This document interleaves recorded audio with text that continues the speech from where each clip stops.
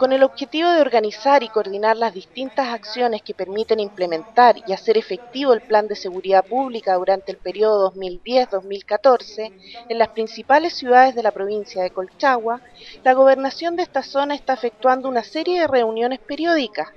junto a las instituciones que tienen que ver con este proyecto, como son juntas de vecinos, centros generales de padres y apoderados, carabineros de Chile, policía de investigaciones y fiscalía.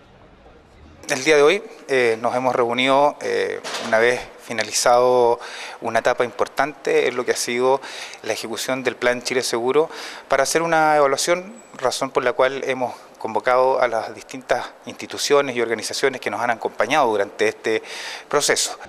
Esta iniciativa fue presentada y lanzada oficialmente en la región de O'Higgins a mediados de septiembre y tiene como ejes de acción conceptos como protección, apoyo, rehabilitación y prevención, con el fin de reducir la victimización y los índices de temor en las personas.